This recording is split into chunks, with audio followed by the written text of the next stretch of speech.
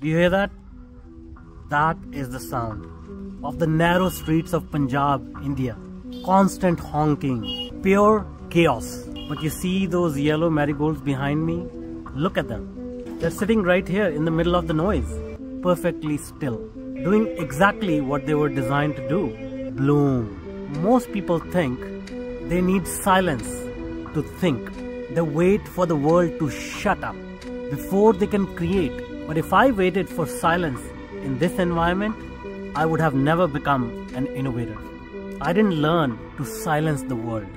I learned how to filter it. There is a mechanism in your brain called the reticular activating system, the RAS. It is the bouncer of your brain. It decides what is signal, what is important, and what is noise, what is irrelevant. When I build AI algorithms for complex datasets, the first thing we design is the noise filter. If AI listens to everything, it learns nothing. Your brain is the same.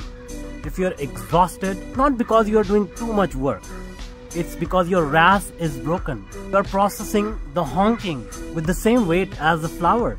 You don't need noise cancelling headphones. You need to retrain your RAS. Here is a signal tuning exercise I use. Number one, acknowledge the noise. Don't fight the traffic sound. Let it be there. Label it background. Number two, lock the signal. Find one small detail like the texture of this flower or the feeling of your feet on the floor. Number three, gating. Imagine a volume knob.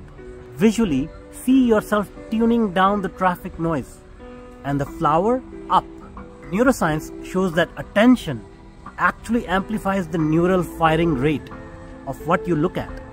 You literally turn up the volume with your eyes. Creativity is not the absence of chaos, it is the ability to find the signal within the chaos. I'm building something called AI Merge to act as a digital RAS, an AI that helps you filter your digital life. So you can see only the signal. But right now, look at that flower. Ignore the horn. If you want my guide on cognitive filtering, comment signal below.